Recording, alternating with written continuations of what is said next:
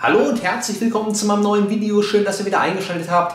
Eure Geschirrspülmaschine pumpt nicht mehr ab. Vermutlich ist einfach nur die Pumpe verstopft. Das kommt sehr, sehr häufig vor. Manchmal ist ein Kern drin, manchmal ist aber auch vielleicht irgendwann mal unbemerkt ein Glas kaputt gegangen und die Glassplitter haben jetzt die Pumpe verstopft. Ich möchte euch zeigen in dem Video, wie man die Verstopfung wieder lösen kann, wie man die Pumpe reinigt und danach sollte dann die Geschirrspülmaschine auch wieder einwandfrei funktionieren. Wichtig, wenn ihr nachher unten bei der Pumpe da unterm Sieb rumfummelt, zieht euch Handschuhe an, die am besten schnittfest sind, damit ihr euch, wenn ein Glassplitter drin ist, nicht dran verletzen könnt. Ja, ich werde euch jetzt Schritt für Schritt zeigen, wie man vorgeht. Ihr könnt das wirklich einfach selber nachmachen.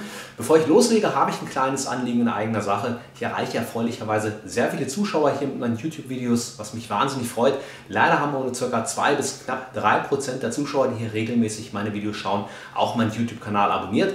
Deshalb meine Bitte an dich, wenn dir die Videos gefallen und auch weiterhelfen, dann abonniere gern jetzt kostenlos meinen YouTube-Kanal. Du unterstützt mich damit wahnsinnig, um auch weiterhin für euch diese Videos zu machen. Das Ganze ist auch kostenlos und ich freue mich auch über jeden neuen Zuschauer, der dazukommt. Genauso übrigens auch wie über einen Daumen nach oben, wenn euch das Video weitergeholfen hat. Meine Geschirrspülmaschine ist jetzt offen und ich habe den unteren Fangkorb schon einmal rausgenommen. Und jetzt heben wir einfach hier mal den Sprüharm ab, einfach nach oben wegziehen. Und jetzt müssen wir das Sieb rausnehmen. Dazu einfach hier aufdrehen und hochheben. Das kann man übrigens jetzt auch ganz einfach nochmal reinigen, wie das geht. Zeige ich euch in einem anderen Video, verlinke ich euch an der Stelle hier. Das sollte man aber auf jeden Fall auch machen, weil das auch mit Grund ähm, ja, für das Verstopfen der Pumpe sein kann. Deshalb legen wir das beiseite, machen das sauber und jetzt müssen wir hier drin noch einen ähm, Clip lösen, das zeige ich euch.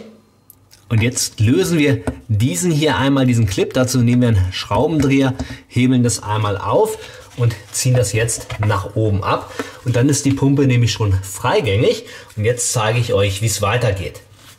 Wir schalten die Spülmaschine jetzt einmal ein, wählen ein Kurzprogramm aus, drücken jetzt hier auf Start und jetzt braucht ihr ein Magnet, um die Steuereinheit zu überlisten, damit wir dann auch sehen, was dort rausgespült wird aus der Pumpe bei offener Tür. Und dann müsst ihr das Magnet genau an der Stelle auflegen, wie ich es jetzt hier auch einmal gemacht habe. Und jetzt spült die Pumpe schon einmal raus. Ihr könnt es hier unten sehen.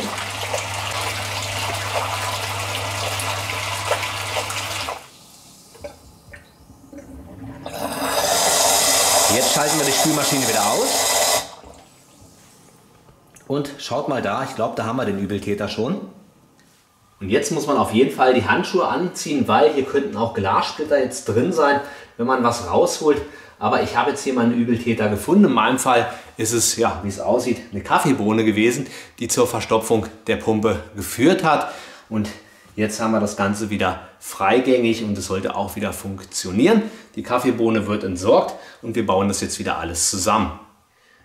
Unser Plastikteil, was wir hier rausgemacht haben, die Schutzkappe, die machen wir jetzt wieder rein. Einmal Klick muss es machen, dann sitzt sie fest.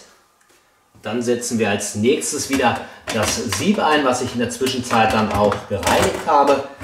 Das drehen wir jetzt hier einmal wieder zu, Pfeil auf Pfeil und jetzt einfach den Sprüharm wieder rein. Und dann müssen wir jetzt noch eine Kleinigkeit machen.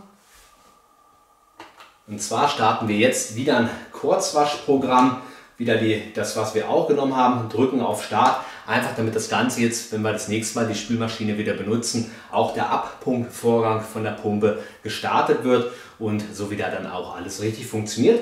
Und wir können jetzt natürlich auch schauen, ob unsere Spülmaschine wieder abpumpt und auch richtig geht. Also, Kurzvorrahmen ist eingewählt, Tür zu und das Ganze sollte jetzt behoben sein. Hört sich gut an soweit. Ich hoffe, das Video hat euch gefallen, auch weitergeholfen. Wenn ja, lasst gerne einen Daumen nach oben da, abonniert gerne hier meinen YouTube-Kanal und dann sehen wir uns auch im nächsten Video wieder. Bis dahin.